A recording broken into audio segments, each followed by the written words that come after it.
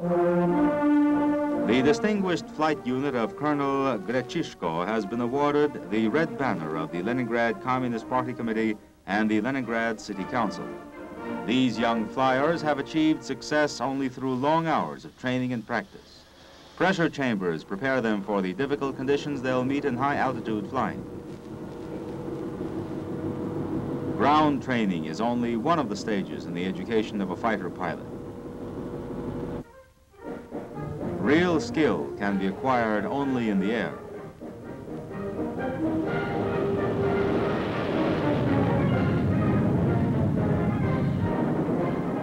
Look at the precision with which Senior Lieutenant Moisekin executes this complicated maneuver.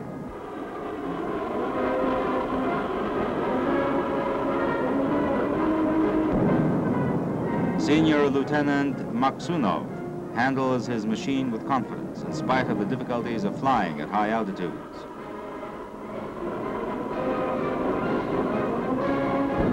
Soviet soldiers are constantly working to perfect their technique, scoring new achievements in honor of the 22nd Soviet Communist Party Congress.